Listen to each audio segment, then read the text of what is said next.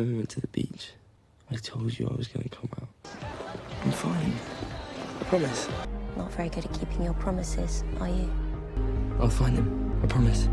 You're the one who said we'd always put our friendship first. You promised. A restaurant. That's a classic date location. Why would you use an actual canvas for this? That's so wasteful, and those things cost money. So, a theme park. But you hate roller coasters. Quote from production designer Karis Beard about the art room. Again, we were trying to amp up the heat and the warmth of the colors because we're in summer now. We added flowers to the tree on the wall as well.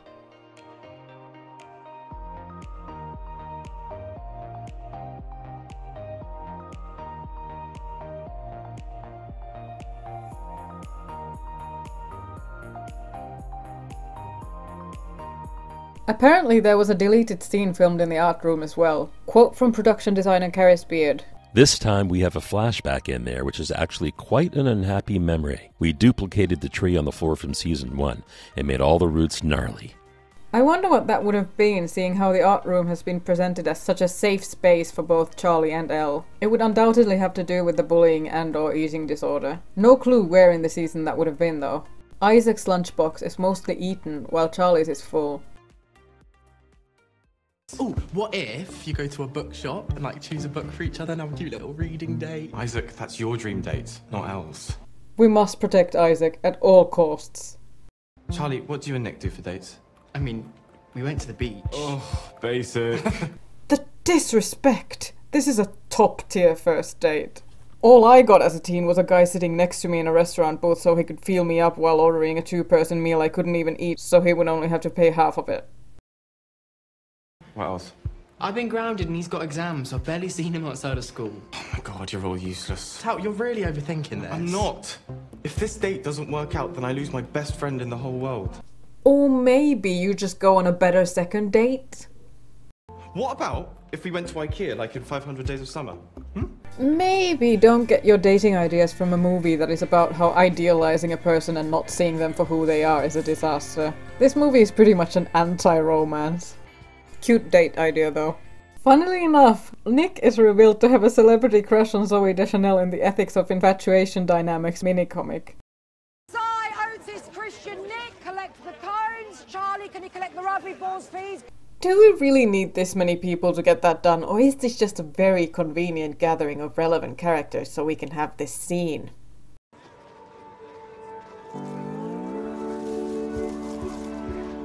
Did you hear we're having an end of GCSE party in the woods next week? And you guys should come. Nick, man, we're not friends with Harry, them not anymore. We're sorry about what happened at the cinema. We should have spoken up.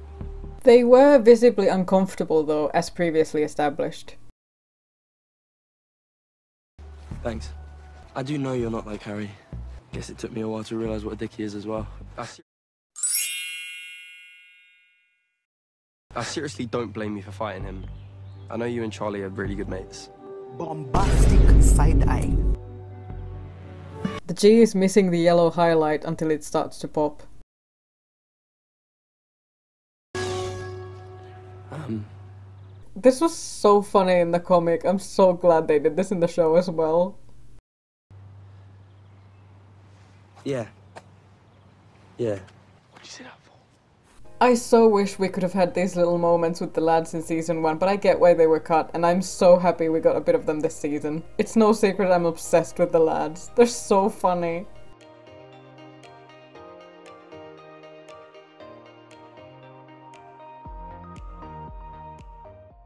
Still couldn't come out to any of them. The door! Is. Nick, it's fine, there's no deadline. I know, but it's just annoying when people think we're like. Best bros. Supportive straight friends. I'm gonna tell some of the rugby guys at least. If I don't come out of school soon, we're probably gonna get found out anyway. The real question is, how have you not been found out yet? Look at all this gay behavior. Blatantly gay. In public. In front of everyone. All the time. How? Because you keep wanting to kiss at school. Uh, I think you're also to blame for that. don't know what you mean. I have never initiated a kiss Oh, really? So what about the changing room? I didn't Or the English room? You kissed me first. Or what about the... Fine. You win. Boys, I need.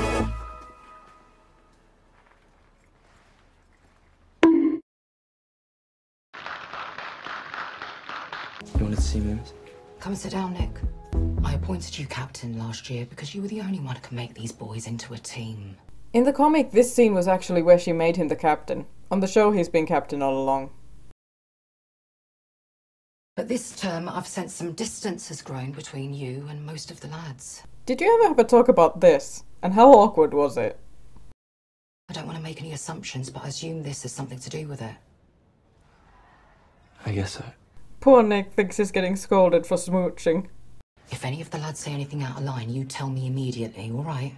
Yeah. Yeah, I will. When I was at uni, things were pretty bad. That was in women's rugby. Lots of lesbians in women's rugby. That's how I met my wife. A lot of gay people are good at sports, Charlie. I remember what it was like, telling all my friends.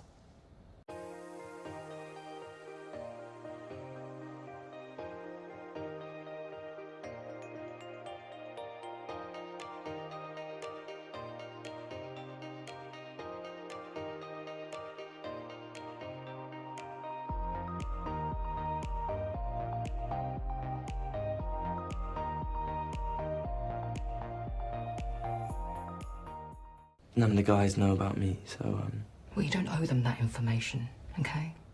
And, uh, maybe keep the kissing outside of team practice.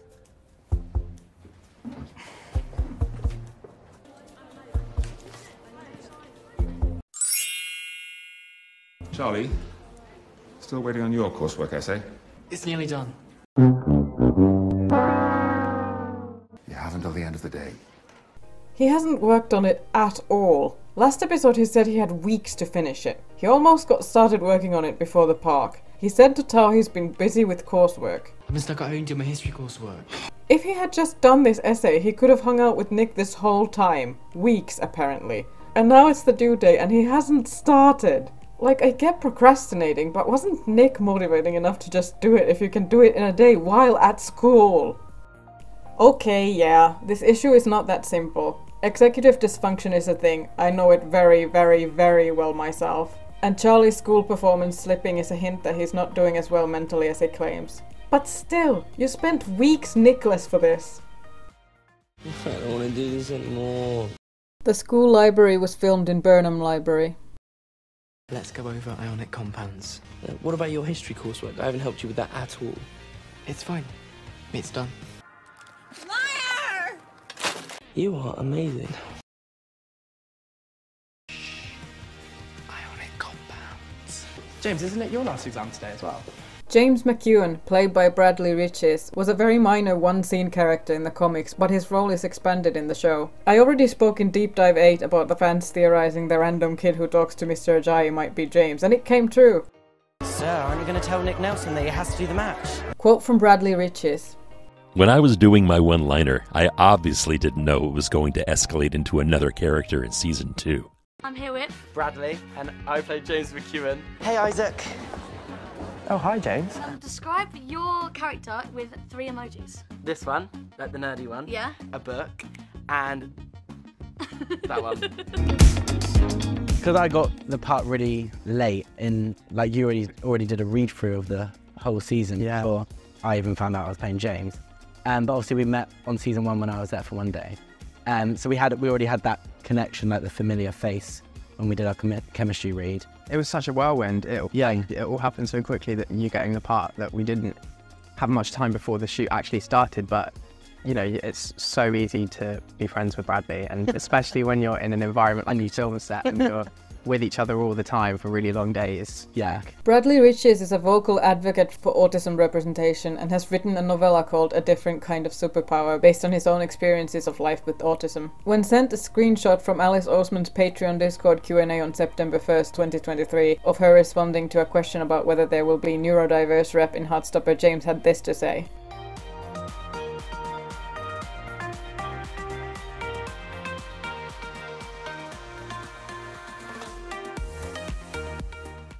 Hello, my name is Bradley Riches. I play James McEwen in Heartstopper Season 2. Growing up as a gay autistic person, I always found it hard to navigate myself in a world that was fit for neurotypical people. Uh, I think this was due to me not fully understanding myself, be it in my sexuality or me being an autistic person. I think this was also down to me not seeing myself represented in a character. Like I never saw an openly gay autistic character um, in anything I've seen, which made understanding myself even more difficult. Um, because I just thought I was strange, and obviously, like the bullies didn't help either. wasn't intentional, but like a lot of people have said that they identify with my characters and see them as being autistic. Um, and I'm like so up for those headcanons. Like, absolutely, if you want to see any of my characters as being autistic, then 100% go for it. Um, so, yeah. Yep. I should probably be doing some last minute revision right now. But this is more fun. It's quite a power move showing a pride display in a school library in a Heartstopper, considering how many schools have banned Heartstopper from their libraries.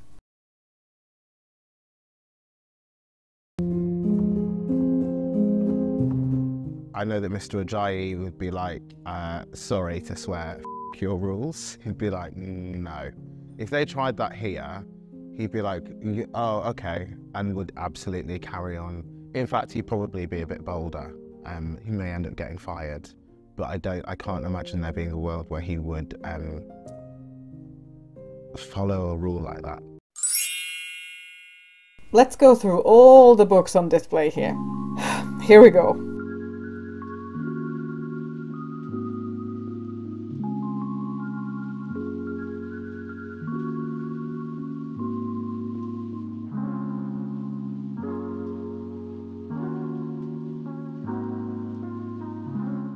Did you know?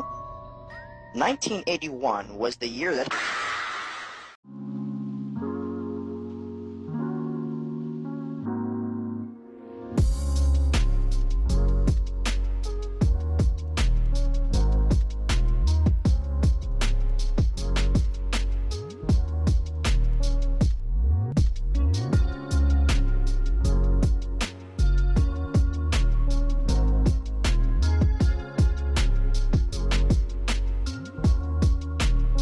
Oseman and Mason Deaver are friends, and Alice has drawn this illustration of the characters from I Wish You All the Best.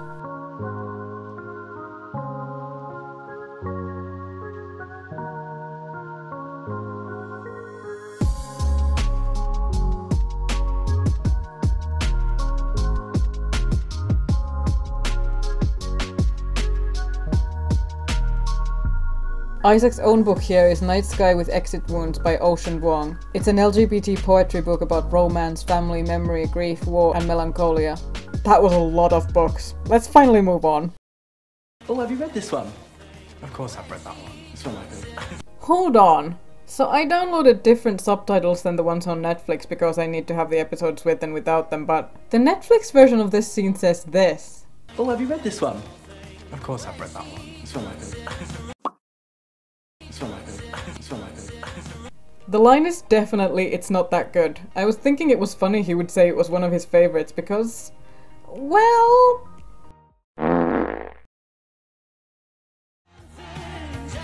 not the off-brand WikiHow.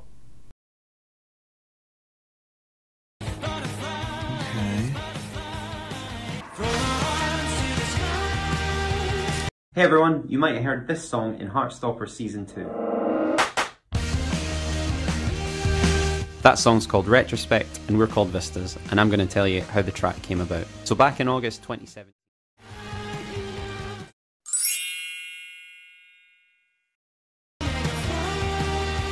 Apparently you can't use a pencil in real GCSEs. You have to use a black pen. Also you can't just leave once you're done in real life exams. You have to stay until you're dismissed and you're not allowed to talk until you're out. Also apparently the GCSEs have a specific order and chemistry wouldn't be last.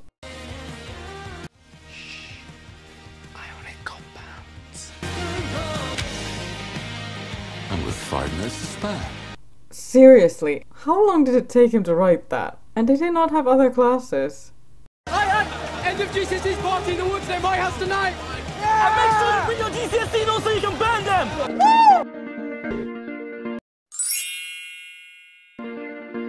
Alice has got some amazing scripts for us. It also feels like, you know, cool and fresh. It's a different vibe to uh, season one. Charlie goes more of a journey this season. The story's a bit more mature, and we're going again. Party tonight!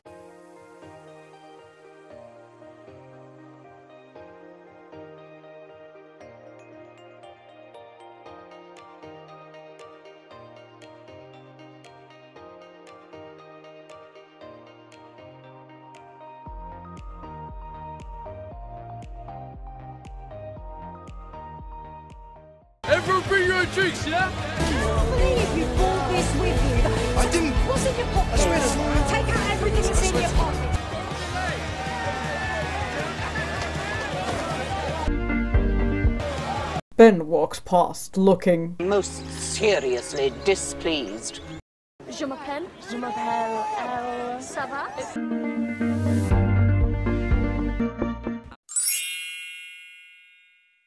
Paris is basically like a five day long sleepover. You're gonna be so annoyed with me after that.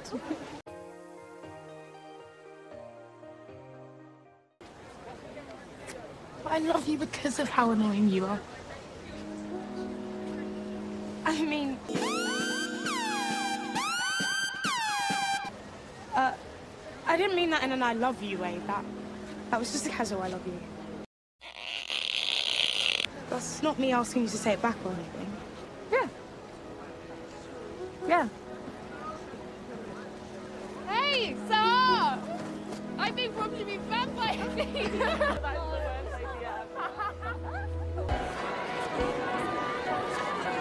So there was some drama in the Heartstopper fandom on the 14th of September 2022, seemingly day 3 of shooting season 2, because the episode 2 park scene was seemingly shot September 12th and that was day 1. An extra posted a vlog about filming season 2 on TikTok. The TikTok was taken down the same day, but it had already spread absolutely everywhere. The fandom was not used to leaks yet, so everyone was talking about it and how this extra was definitely fired for it.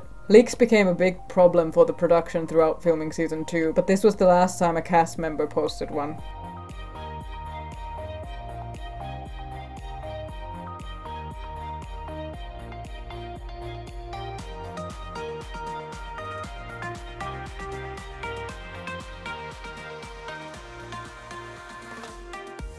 Heartstopper Season 2 being in production wasn't announced until September 22nd, so a week after the leaked videos. So obviously production was stressed about videos already spreading showing the actors in costume, where they were shooting and which characters had scenes together. Alice and Patrick were liking tweets telling people not to spread or talk about leaks. I don't support people posting behind the scenes spoilers of unreleased content, but I feel like since it's out there already and the show is now out, I can include it in this project because it's not spoiling anything anymore. Some people posted their videos and pictures of shooting after the show was out, and that is infinitely better.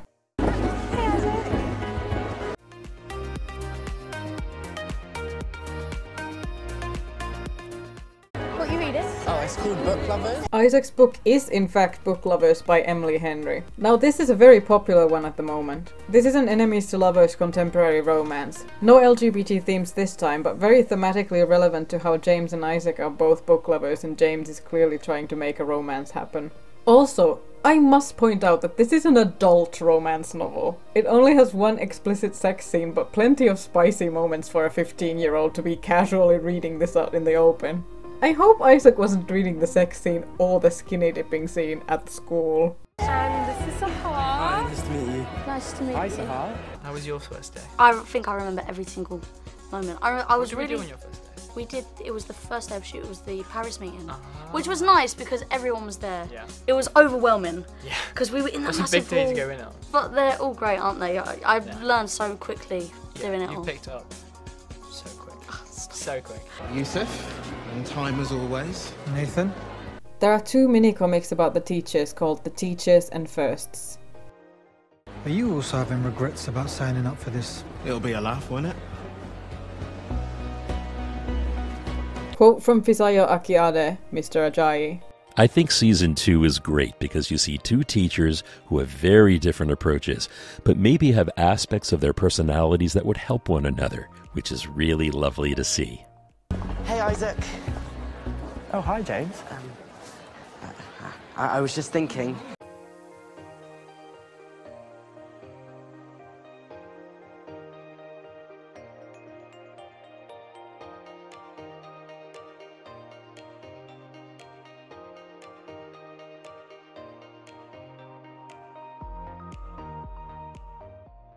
Did you want to come to that end of exams party tonight? Yeah. Okay. cool. cool. And all your friends should come too, obviously. Sweet. Thank you very yeah. much. See you there. Bye, Isaac. Bye. It is pretty interesting that from this moment on, all the characters are so on board with shipping Isaac with James, even though Isaac's sexuality has never been discussed, and Charlie even says his friends wouldn't understand because they're not gay all the way back in episode 1. Coming out is still treated as a big thing in this show, so it's kind of funny that everyone's just decided Isaac would be down to date James, even though he's never expressed anything to support the notion. Even James just seems to assume Isaac is also gay in episode 4. I could come out at the party to some of the rugby guys, so if it goes badly, we could just leave. Everyone. Quiet! Okay, uh, thank you, Mr. Farouk. The start of Mr. Ajayi being into a man with authority. We'll now ask you to get into groups of four. We've been told to inform you that boys and girls cannot share rooms. Oh dear. Oh no. Yeah, we know. Heartbreaking, isn't it? Um, for them? yeah, yeah, no, no, Right. Yeah. This girl is probably not a language student then. Also, I wonder which language Imogen is studying if not French. I don't take French either. Ben's taking French since he was complimented by the French teacher last episode. Tao and Nick are likely doing Cantonese and French because of their parents, and who knows what Isaac is studying. Where is Tao? He really skipped this whole meeting just to get a haircut, buy flowers, and make a dramatic entrance. We've really given you the whole tour. Why are you saying that? Cut that out.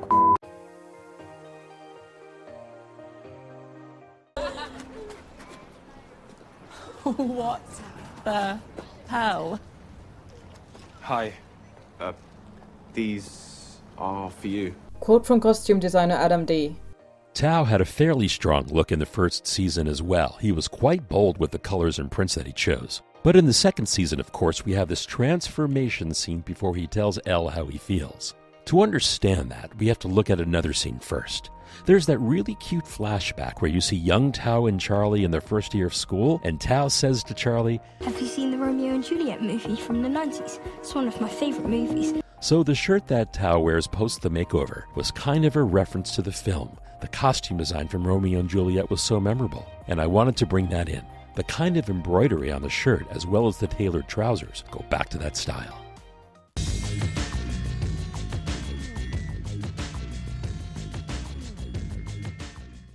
What's happening right now? I'm pretty sure everyone would be glad to find out that Tao's hair has now changed as well.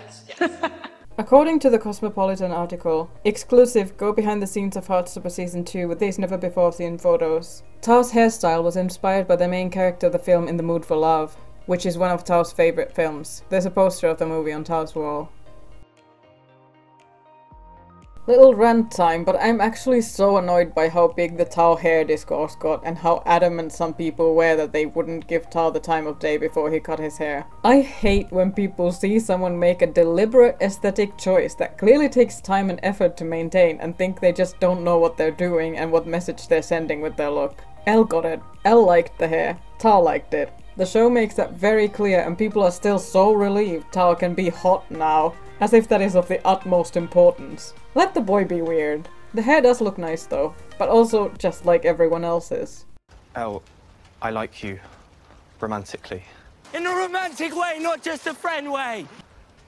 And I was wondering if you wanted to go on a date. Tonight. Why tonight? What if she had plans? Turns out she did have plans. I'd personally have given her a bit more room to get used to the idea, but um, I would say it worked out, I guess, but it definitely did not. You like me? She had really given up on that. It seems like part of her is annoyed that he's now suddenly all full on when she's already gone through the trouble of trying to distance herself. I guess I was sort of hoping. I've been sort of wondering if you like me back. Uh, Dash? well. Yeah.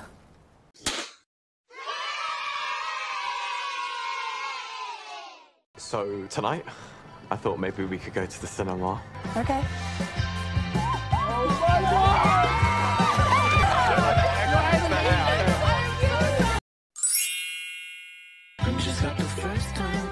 Hey.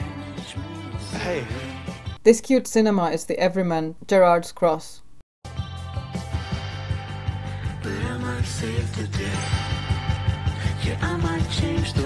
Hi. Two tickets for Tao Xu? Do people still get physical movie tickets? I used to collect them and glue them in my scrapbook. Now I just have them on my phone for convenience. I guess this is another one of those old Hollywood romance things they do on the show. What are we seeing? It's a surprise. So that's two tickets for Moonrise Kingdom at 7.15. Did you do that on purpose just to mess with him, or...?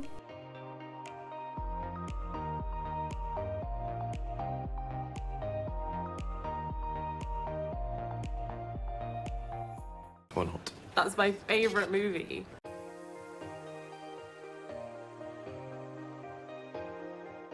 I know. But you hate that movie. Yeah, but I want to make this your dream date.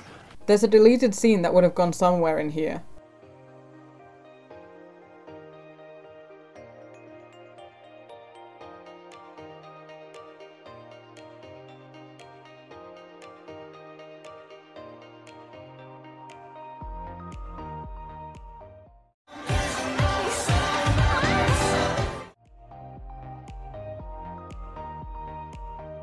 The bonfire party was shot in Black Park Country Park, Wexham, Buckinghamshire, with around 200 extras.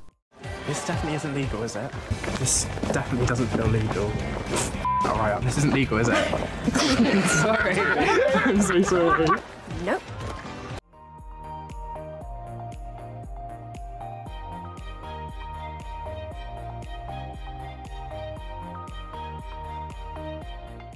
Darcy's not replying to my messages.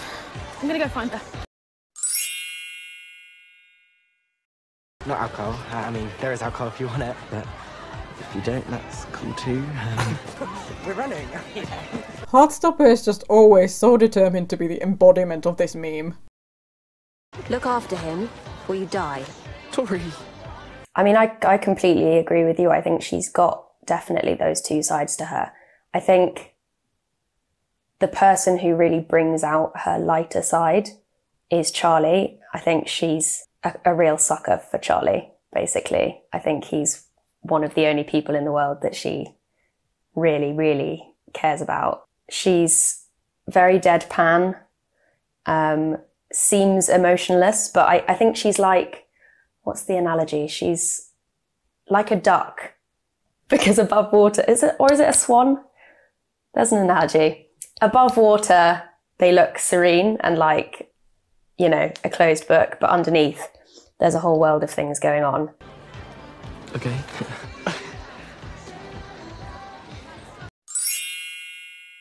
What's up? I'm fine. Just um, headache. We can leave if you want. I'm fine. I promise.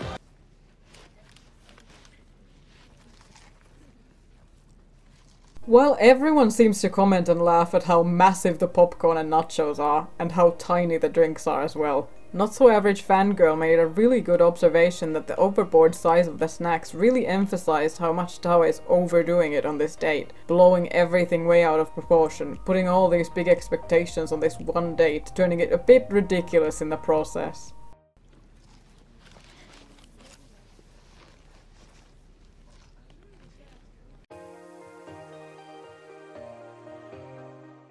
You look really nice, by the way.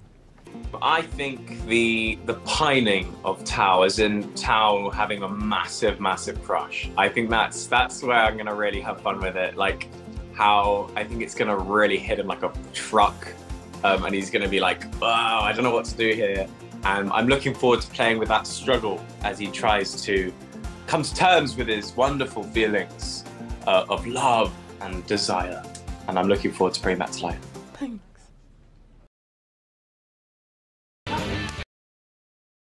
Did you cut your hair? Well, it just looks better like this, doesn't it? I hope you didn't cut it for me. Quote from article William Gao embraces the cringe by Simran Hans for Highsnobiety. Gao channeled the awkwardness of a real life cinema date he remembers going on. That didn't go to plan either. I made this joke before we went into the cinema, and it just fell flat on its face, he says. The joke, by the way, was a fart joke.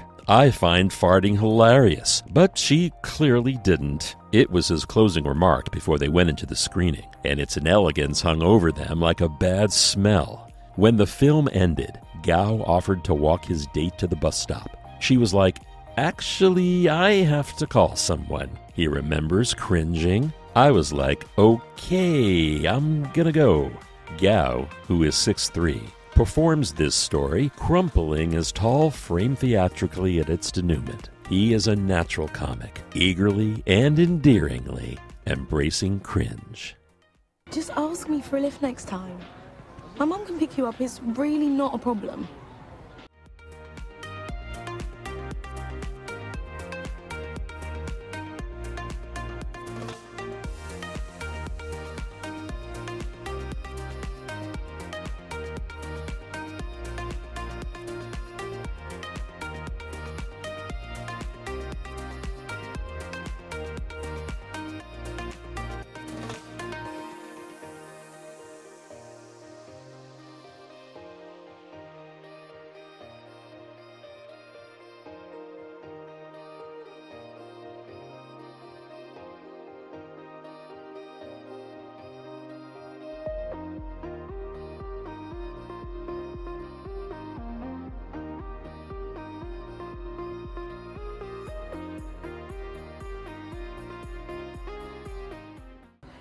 I why she didn't just ask.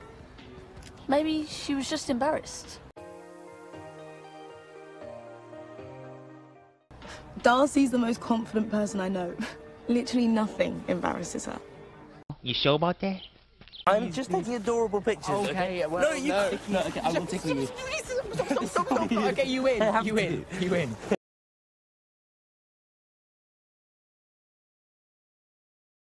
Are you sure you want to come out to the rugby boys tonight? If you're not feeling well, I'm fine. See? Charlie knows it's a terrible idea. Just think about us being out as a couple in Paris, holding hands in the Louvre, holding hands in, in the Louvre. Ah! Get it right, Joe. Go on now.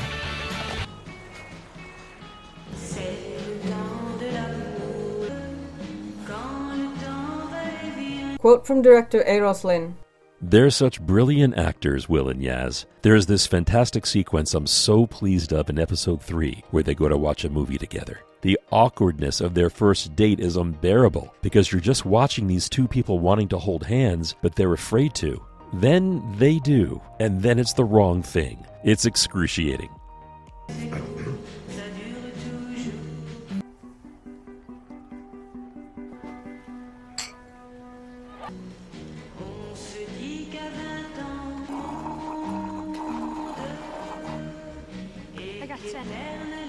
Alice Drew Tao and Elle dressed as Sam and Suzy from Moonrise Kingdom for Halloween 2021.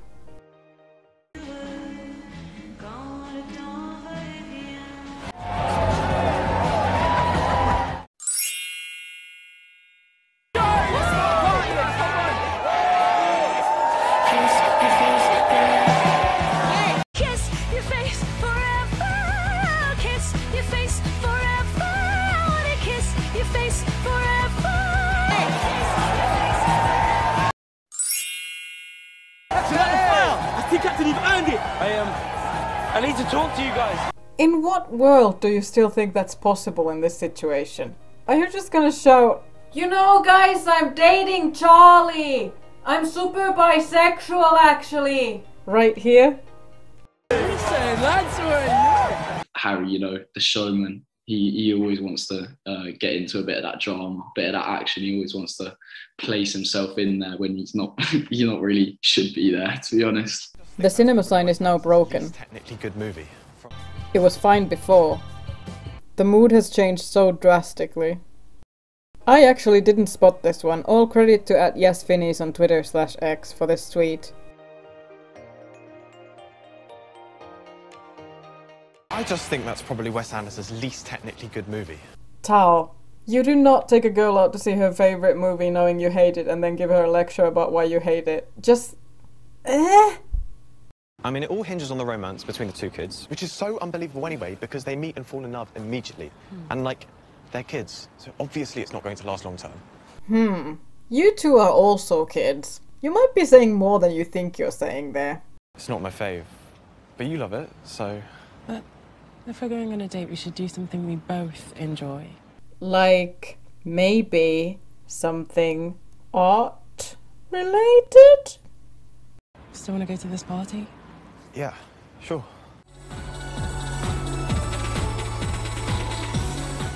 Costume designer Adam D on Elle's Fashion. Through the first season, she gets a bit stronger. And then in season two, she has these friends who help her become her authentic self. And this gives her the freedom to think about her own style. At the bonfire party, the art college, and even in Paris, her fashion starts to reflect the wider world that she's experiencing. I just met this bitch in the corridor. I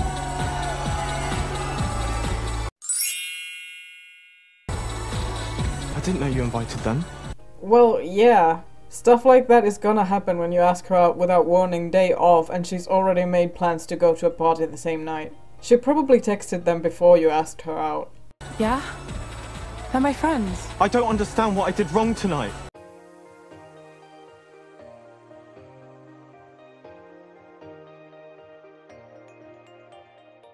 It's like you were trying to be a completely different person. You're the one who's completely different. You've gone off with your new friends and have forgotten I exist completely. You're the one who said we'd always put our friendship first. You promised. Well, I guess romance does ruin friendship.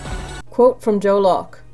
The Tao and Elle story this season, I think, is my favorite in any story of the season. I think it's really gorgeously played out because I think there's this idea sometimes of Heartstopper that it just simplifies what teenage relationships are. With the Tao and Elle story, there's a lot of chewing and fraying. Will they, won't they? But in a different way to what's Nick and Charlie's relationship, which I think is great. This Heartstopper is all about showing different types of relationships.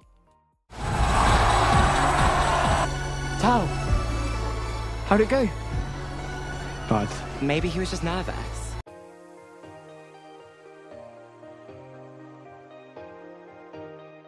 I'm fundamentally unlikable. Quote from executive producer Patrick Walters. Tao is one of those people who veers between really high self worth in certain situations and then really low self worth in other ways. He's grappling with his fear of abandonment, not being good enough, not being able to continue these relationships that nourish him. Don't say that, Tao. He was probably just trying to impress you. I liked the old Tao. I tried too hard and I talk too much. I ruin everything. Tao, please don't say that. And even if something did happen, I'd still mess it up like I always do with everything. I've liked him for so long, and it just hurts. All things considered, she did give up on this really fast. It's only been two months since Charlie's birthday on April 27th, and that's when Elle realized she likes Tao. If this is set in 2022, the year season 1 came out, GCSEs ended on June 28th. I don't want to feel like this anymore. Come here. I think sometimes because I'm both trans and disabled, I often feel like sometimes I'm I'm if I'm playing a disabled role, I'm too trans. If I'm playing a trans role, I'm too disabled. And I didn't feel like that with Felix. I felt I didn't feel like I had to push myself more to, you know, do scenes stood up or um, you know, not be in my chair or anything like that. Um, it felt very much like everyone was sort of like, do what you you want to do. Um, so in the tent scene, I'm not in my chair. I'm sat with Belle and Yaz, um, and then in other scenes, I am in my chair just because you know they're long days and it's just easier to be sat down so I don't fall over.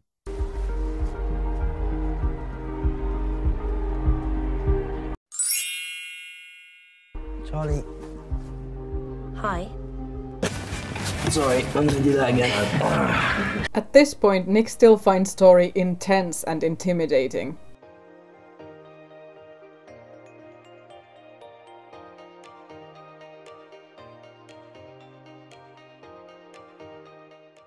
Where's Charlie? I, um, I lost him. Sorry. You said you'd look after him. Not very good at keeping your promises, are you? Ouch. Of course, Tori has no idea she's hitting him in way more places than intended with that one. There is a scene in Alice Oseman's debut novel about Tori Spring, Solitaire, that takes place in the middle of Heartstopper Volume 4. That would be season 3 of the show. That is similar to this. This feels foreshadowing to Tori going off on Nick for leaving Charlie alone after an argument with him. We may actually see this scene next season. Solitaire is a very dark and depressing book, and that event is only mentioned briefly in the Heartstopper series. It'll be interesting if the show will be a sort of middle ground between the versions of that part of the story. You don't look well. I'll find him. I promise. It seems she already regrets being harsh with him. So when I got Heartstopper, the first email they said was like, "Welcome, like thank you so much for accepting the role," whatever they would say. And then they said, um, uh, "We know Bradley's autistic. Is there any uh, requirements he would need?" And I was a bit like, Really? "Yeah." I was a bit like, Wow. uh, and I obviously it was my first job, so I didn't want to sound like a diva. When I should have, I should. It was not. It's not being a diva. It's Yeah. just being. It's just having basic, like accessible needs. Um, and I just like, no, nothing. Thank you so much. Which is because it was my first job. It's like you've got. I was I was very grateful to be in that position. So I was. I should. I should have said some things.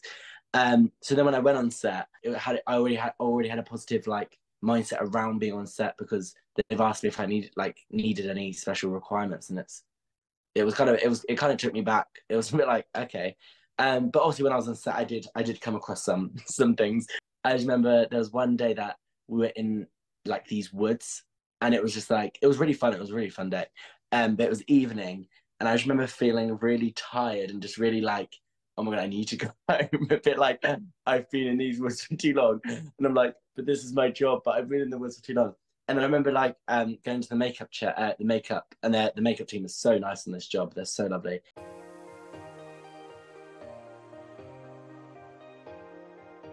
There's a makeup artist called Shorsha, and she just she just got me straight away from the from the get go. Like when she was cutting my hair, um, I was just like, I'm sorry if I go really silent, and she was like, No, I get it. Um, because I whenever I get my haircut, I go really silent because it's just very overwhelmed. I'm just like this. but everyone like speaks to each other when they get their haircut. I'm just like, I'm, like, I'm not being rude. I'm just, I'm just Yeah. give me a minute. Um, but she got me straight away. So Sorsha was um amazing on the team. And I remember this day we were in the woods. We got back, and usually you would get like a de-rig, so you get like your makeup taken off, like whatever you had. And I just walked in and went, I need to go home. Like I was like, I can't have my makeup off today. I need to get in that taxi. I'm gonna go in that bath and I'm gonna take it off myself. Because sometimes it's like when you're lying in the makeup chair, they put like a they wash it off and then it's re- it's really nice when you're feeling it. It's really good. Then they put like a um, flannel on your face and they rub it. And I was just like, that's gonna be too much for me today. Yeah. But thank you so much. Hope you see you in the morning. What's up, mate? Mate, you alright? Yeah, yeah, I just, um, I just needed to talk to you guys about something. In what world would you still think this is the time and place for this discussion? You're bisexual, so you're gonna cheat on my brother. What's funny is this is what Tori actually says about Nick's bisexuality in Solitaire when Michael Holden says he's pansexual, so he's a bit in love with everyone. Nick's bisexual, but he doesn't fancy everyone he meets. He's a bit Charlie obsessed, to be honest. Are you sure you're not just gay? It seems from this screenshot posted by writer Lauren James, at Lauren Ellis James on Instagram, that she was consulted by Alice on something for episode 3 as Heartstopper Writers Room's resident bisexual, and it's most likely about getting the stereotypes and internalized doubt about Nick's bisexuality correct and accurately represented. Lauren was also present for filming the episode. Aww, share with the group. Someone spits it out. It's fun, isn't it? Sneaking around with him. Pick a side. Jack Barton, who plays David, posted this picture on Instagram, and it seems like they filmed something like these dark visions of Nick's dad here. But this doesn't have quite the same color scheme, and Nick's dad hasn't been introduced yet at this point, so it doesn't really fit, but I don't know what else this could have been for. Maybe this might have been for the deleted scene with David before the party. Maybe David planted a seed of fear about their dad's reaction, and that started these imaginings. You promised you were gonna come out. Should have learned that. Still lying. This is exactly why I didn't want to tell you. Nick, you see, you see things, not traumatic events, but you see things happening in his life that that really do sort of mess with his mental health and um, mess with the way that he sees himself and his life. And uh, I think that that's something that Heartstopper does handle beautifully because it's you know very very subtly written by Alice um, and but still very positively and very, as Joe said, you know that everything's going to be okay at the end of the day, and that's um, I think it's important for people, especially people who are going through tough times, to see a show where people who are like them, or even not like them, uh, but just people who are sort of going through tough times as well, but there's a, a sense of hope. Nick doesn't want to talk to you, Harry. Piss off. This is the first time Charlie ever stands up to his bullies, and he does it for Nick.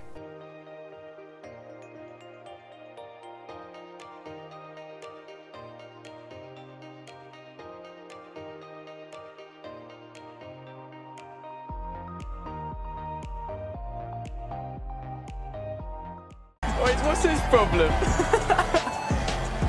Ben kisses Imogen because Nick and Charlie are watching. Also, today I learned that British guys call their closest buddies G. Thanks, Urban Dictionary.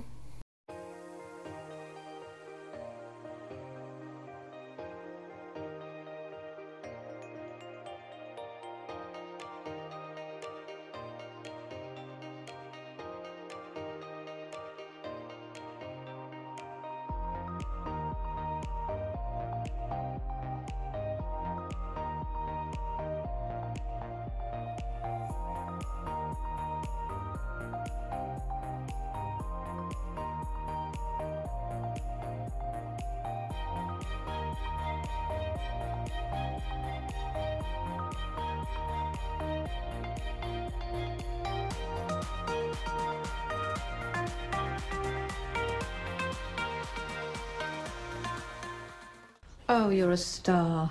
Is he okay? Quote from Joe Locke.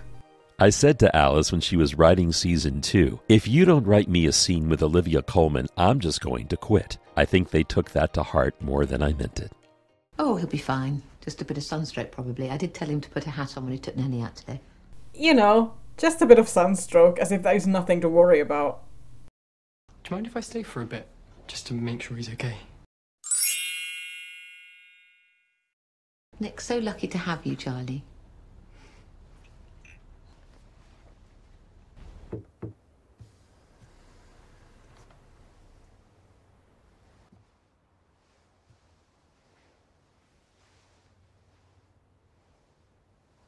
Nick has the wrong side of the photo booth pictures on his wall in this scene. He has the right ones where they are kissing in other scenes. Sure. Remember our good Italian and Spanish friends Chiquito and Chucky from the dubs of season 1 episode 7 when Nick calls Charlie Char for the first time? Chiquito. Chucky. Well, Char. Char. rest in peace, Chucky and Chiquito. You will be dearly missed. Although, just imagine Nick calling Charlie Chucky in that moment in episode 8. Chucky. Not for mean to you. I mean, I would be skeptical of your potential for success with that, but Charlie would still probably have better moves than Tar, to be fair. I said I told him, but I couldn't. Tonight just wasn't the night. I promised. When we went to the beach, I told you I was going to come out. I've just been finding it so hard. You didn't promise anything. I think there's this idea that when you're not straight, you have to tell all your friends and family immediately. Like you owe it to them. But you don't. Now, I don't want to go too much into what happened to Kit Connor because it sucks and I don't like how every interview lately asks him about it, but there's an undeniable parallel here to his personal experience. In case you somehow didn't hear about it, Kit came out as bisexual on Twitter before deleting his account permanently while they were filming season 2. He felt pressured to come out because people were speculating about his personal life and accusing him of queerbaiting when he had specifically said he didn't want to label himself publicly. It must have been a really strange experience going to work every day doing this coming out storyline when he didn't get to come out on his own terms in real life. You know, we're still all so young, and to start sort of speculating about our sexualities and, and maybe pressuring us to come out, you know, when maybe we're not ready. Uh, I mean, for me, I just feel like I'm perfectly, you know, confident and comfortable in my sexuality, but I don't feel the need to really, you know, I'm I'm not too big on label uh, labels and things like that. I'm not massive about that, and I don't feel like I need to label myself, especially not publicly. Quotes from Kit Connor. There were definitely points where I was doing season two and saying certain lines, and I thought, this is good, this is how it should be. This is the message that we want to be sending. The show we're doing is really setting blueprints for people to know how to treat these delicate situations and how to make people feel safe and comfortable. It felt like certain people didn't quite understand the show and the original message that we were trying to portray in season one. So, if that's the case, then we'll just keep hammering it home in season two and hope that people listen. It's regrettable what happened to me. I think it was a bit disappointing the reaction that I got in just trying to be myself and trying to discover myself and putting boundaries up. But despite that, I was still happy. Maybe we should forget the coming out plan for a while. Quote from Joe Locke. Charlie really understands Nick's feelings, and he understands the difficulty of what Nick has to do or wants to do. But I think they have this deep love for each other that Charlie will always just be there for Nick no matter what, no matter how hard it is for Nick. Charlie just cares about Nick's feelings. In an ideal world, Charlie would scream to the rooftops about their relationship, but he cares so much about Nick that he wants it to be the most painless and perfect way for him. You sure you're okay with it? Yeah. Obviously, I want you to come out when and how you want to. And if that takes a long time, that's completely okay. I sure hope people heard that line this time. But I guess part of me just wants everyone to know you're my boyfriend.